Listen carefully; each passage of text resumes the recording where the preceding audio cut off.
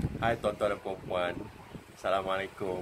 Jangan lupa mengundi pilihan raya umum Malaysia 2018. Jangan lupa mengundi bulan Mei ni. Ha.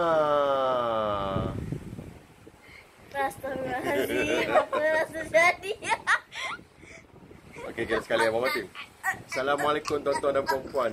Janganlah lupa mengundi. Bulan Mei ni, pilihan raya umum Malaysia.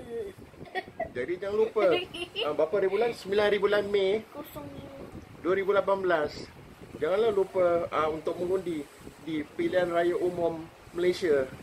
Ha.